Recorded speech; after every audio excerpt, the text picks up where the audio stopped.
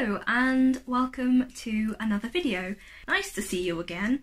Um, I'm so excited to share this project with you. I've made a lot of baby shoes before, but I've never made a pair of shoes for myself, let alone historical reconstruction, so it's all rather novel.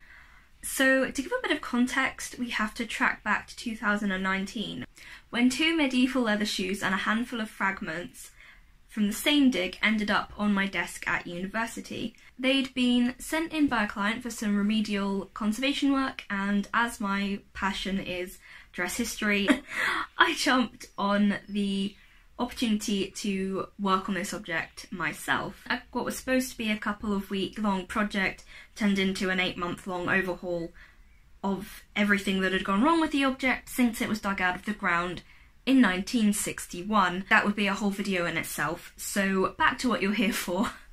So it's very rare to find complete medieval shoes, so a lot of this reconstruction is conjecture based around what I can learn from the extant object itself.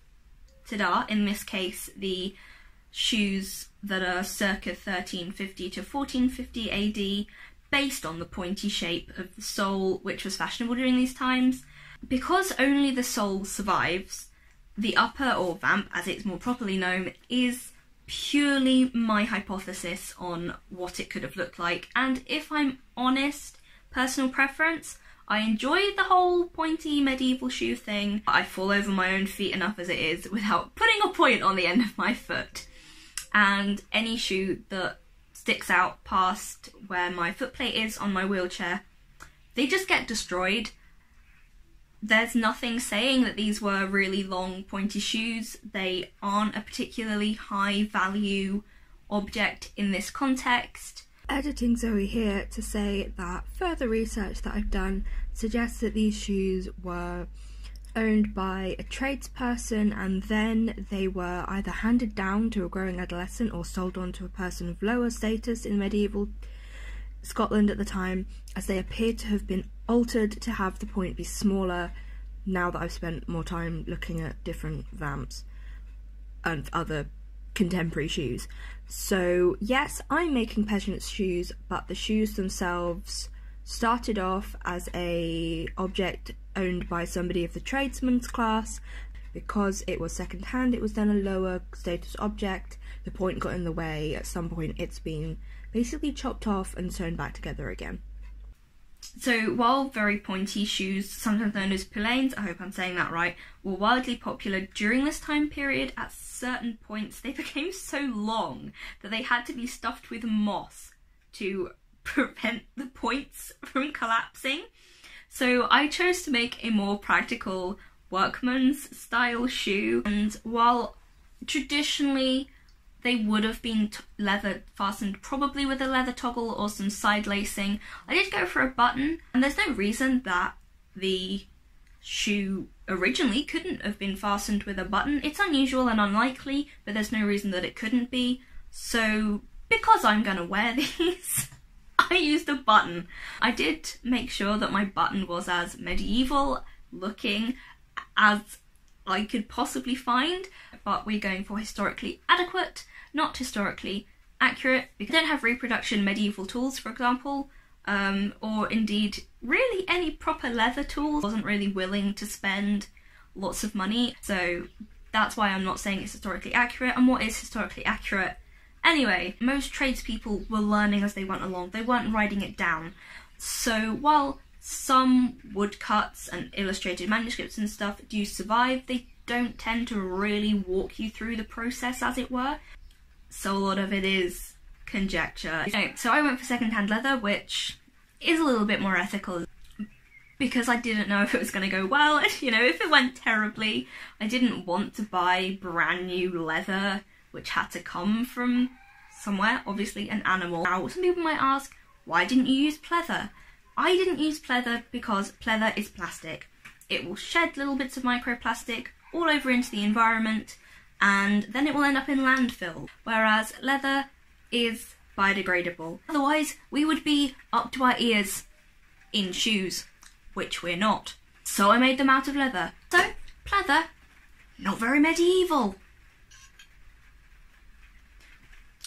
onto the shoes because you are not here for my rants about the use of plastics. Uh, so the first thing I did was trace my foot on paper and I had a exact copy of the original sole of the shoe that I was working on and my foot was not much smaller than the foot of the person who would have worn this originally. Now Actually, I made this shoe a little bit too big. Now I would definitely make it a lot closer fitting. I used regular brown packing paper to kind of work out how big I wanted the upper to be. Here you can see I am using my cup of tea as a pattern weight. It's really professional here and I'm just drawing around the shoe. To... Now this would have been done with a sharp object known as a gouge or just with the point of an awl except I didn't have one at this point, so I was just using a pencil. I don't have the medieval lunette, which is a crescent shaped blade, so here I'm just using regular scissors. One thing a medieval shoemaker would have was a wooden last, which is basically a wooden object in the shape of a foot, and to get it to the client's measurements, they would build it up from a basic shape with leather scraps or rags. Now, I wasn't about to sit and carve a wooden last. So what I did was I got loads and loads of layers of cardboard and paper packing tape and masking tape and I just built them up over a cobbler's anvil which for some weird reason my mum just has. The sole of the shoe would be stuck to the last with two small nails which will be removed um, once you finish the sewing just to hold everything in place. I didn't have those and I wasn't using wooden lasts, I just used regular push tacks and it worked okay. Next, I cut out the vamp or the upper. Now, the original shoes were side lacing and they would have been laced up at the side at the front of the foot with a very thin leather thong, something I found out with research that I did well after I filmed and made these shoes. So I'm doing this voiceover more than a year since I finished these shoes, so I learned so much. Now, uh, if I'd have had the right tools, I would be making these holes with an awl. And before I could do that, I would use a pricking iron to mark the hole. Uh, my stitches will be completely evenly spaced. Now, I found an awl which was not the best, but it worked. And here I am poking the stitch holes where I marked with my pricking iron, which was actually just a pair of tweezers. I've now invested in leather tools, and I would be really interested to try and remake these shoes now with the correct equipment and see what was different. Yes, I'm using a rock as a hammer. It was easy to control when hitting a pair of tweezers, just don't go there. Now, for the second sole, I found that it was really hard to get the marks deep enough with just my hands, so I used a rock as a hammer. What the medieval people would actually have used would be the aforementioned pricking irons and a wooden mallet or maul, um, which is a type of cobbler's hammer. Medieval shoemakers would have used wax linen thread, which would have come in a single ply, and you would then have used three sections um, of ever so slightly different lengths at the ends wrapped around a boar's bristle needle. Now, I didn't have anything like that, but I did have beading needles. So what I did was wax some cotton thread and I just put it through two beading needles and used them in the same way that you would with a boar's bristle brush. Now you can see here that because the shoe is a turned shoe, it's made inside out. So these fluffy bits are actually the inside of my shoe once I have actually got the needle through the hole, which took some getting used to, let me tell you. It's nothing like sewing with fabric. I will be able to put needle through both sides one way and then the other needle will go through the same hole and you will be left with it like a little loop either side and you put it through the loop a bit like a blanket stitch but with two needles and that will create a knot either side of the seam of your shoe which means even if the thread breaks once you've worn the shoe for a while you will have knots all the way along your sole. This makes your shoe a lot more durable and it also means it's easier to repair because if the stitch breaks in one section, there's still loads of knots holding the shoe together. Make sure that the stitch holes for the vamp and the sole of my shoe actually lined up. I, for some reason, decided to make the holes as I went along, which was not the most time efficient way of doing it. I now know that you use the pricking irons all the way around the sole and it will just match up and then the area which overlaps either you stitch together or you use it as part of the fastening. But again, never made shoes before. Now I have proper leather tools. It's a lot easier because the pricking iron does several indents and then you just finish them off with your awl or if you don't want the stitches to show you go like through the side of the shoe um, but not all the way through to the other side of the leather which is known as flesh stitching. Didn't do that on this project because the leather was too thin. It was upholstery leather but it was what the charity shop had at the time and it worked. I have a usable pair of shoes that I have been wearing for well over a year I wear them in the house as slippers, I wear them outside. It's been really interesting tracking the patterns of wear compared to the original, and you can definitely see that the points of wear are, well, frankly, where you'd expect them to be. Luckily for us, we keep bees, so we have a pretty steady supply of beeswax. I melted it down in a little glass jar in some tin foil and then in a cup of boiling water. What I should actually have had is a block of beeswax which I rub into the leather or some lard. Because I'm a vegetarian I didn't want to use lard so I went for beeswax because well it's free when you keep bees. A bit cobbled, literally cobbled together. Mm-hmm. But um Sadly I didn't have a wooden mallet so I was just using a regular hammer and it worked pretty well. I think honestly the leather was so thin I didn't really need to hammer it. It works better with thick leather I think. Wrap that in something to stop it clanging.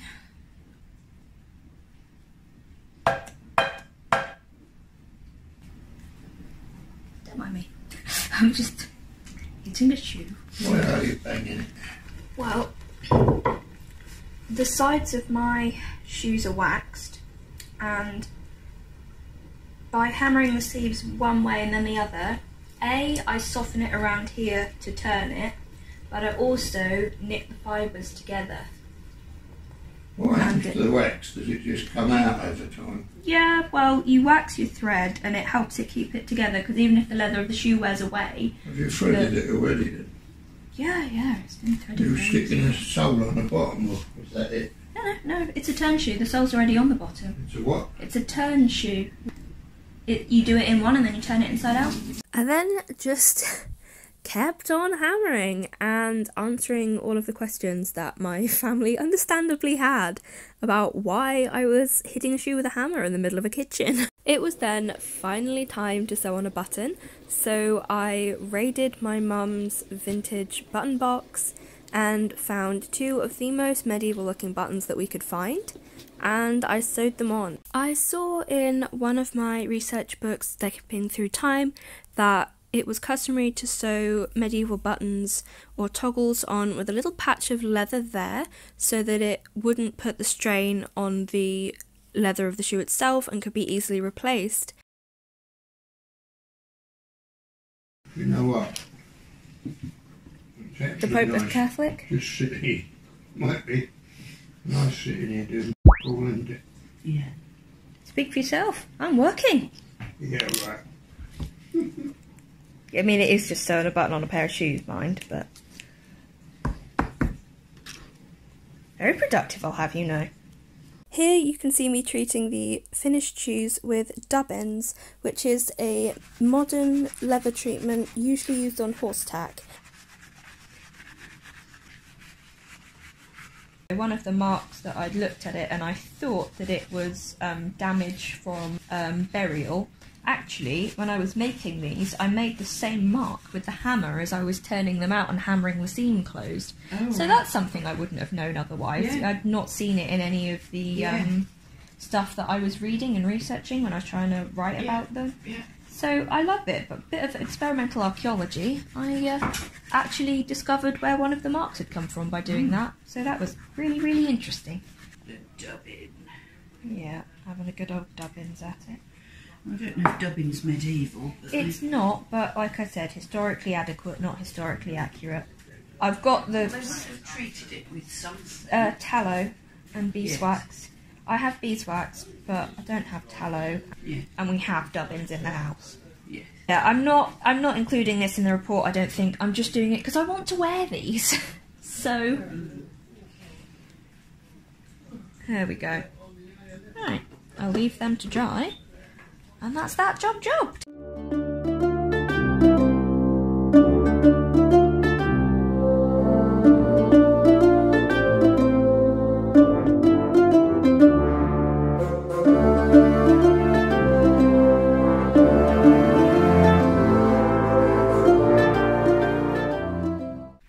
I am extremely pleased with how these turned out. I have been wearing them around the house and out into the garden, and they're surprisingly comfortable and even more surprisingly, actually waterproof. My feet are dry, as far as I can tell, although I haven't jumped in any puddles to really test them out. so, if I make another pair, I would definitely get thicker leather for the sole, or I would actually buy leather which is designed to make shoe soles out of. That's it. Thanks for watching. I hope you enjoyed this video. If you want more sewing and history based shenanigans, please like and subscribe. I hope to do more videos like this in the future. Let me know in the comments what you thought. Do you have any suggestions? What should I do next time? Let me know.